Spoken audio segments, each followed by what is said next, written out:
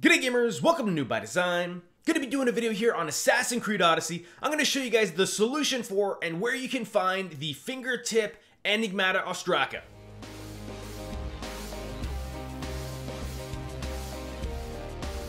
Alright gamers, so you're going to be able to pick up this Ostraka in the Delfina Fort here. We're going to start at the western edge of it, just because that's kind of the closest area to go ahead and find it. Just in that little corner there, we'll go ahead and climb up using this kind of ledge as our marker. It's going to be the one that goes slightly out further west than any other section of the building here. We'll just climb right in here, and then just over to the left, we'll go right ahead and drop down. As you can see, it marked on the ground there. It's actually just going to be in with a bunch of items just right over here in this kind kind of area where they offer stuff to the gods, or that's where generally they do, make sure before you get it, you do a quick check around just because there are guards that kind of patrol this area and they might go ahead and pick you off. Alright gamers, so now that we've picked it up, we're gonna have to go ahead and work our way over to the Valley of the Snake and the Tomb of Tityos. We'll have to go north of it to basically kind of this area here, the mountaintop. This is the soldier that's half buried and the mossy finger that you have to go north of here. So we're gonna go ahead on horseback just because it takes a really long time and essentially